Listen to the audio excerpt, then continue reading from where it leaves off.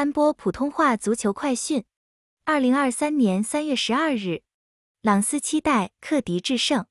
周日晚上，法甲赛场风云再起，其中克莱蒙特将主迎朗斯。M 直播届时将会有本场赛事的现场直播。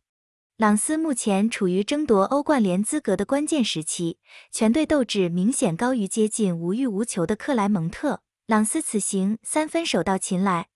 克莱蒙特上季作为升班马，在法甲惊险保组，今季他们更进一步，在还有超过十轮未踢的情况下，他们排名中游，积分也接近上季保组的分数，几乎提前宣告保组成功。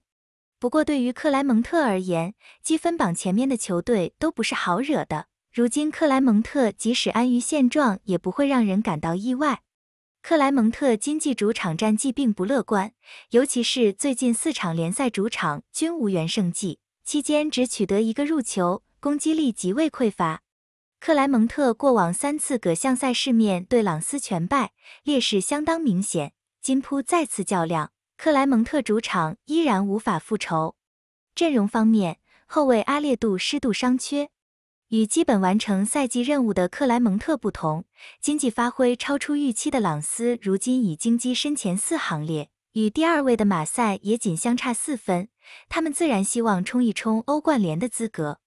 作为目前法甲积分榜前六中攻击力最低的球队，朗斯均场入球只有一点五四个，而他们最赖以生存的就是坚固的后防。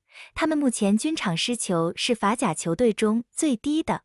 有了一定的防守保证，球队取分就不在话下。虽然朗斯头号得分手路易斯·奥宾达今季联赛入球未达到双位数，但这位比利时前锋今季曾上演过戴帽好戏，脚风顺时将是对手的巨大威胁。此番面对战意麻麻的克莱蒙特，朗斯凯旋不成问题。阵容方面，后卫法昆杜麦店拿因伤倦勤。感谢你收听安波普通话足球快讯。感谢你的支持，并订阅我们的频道。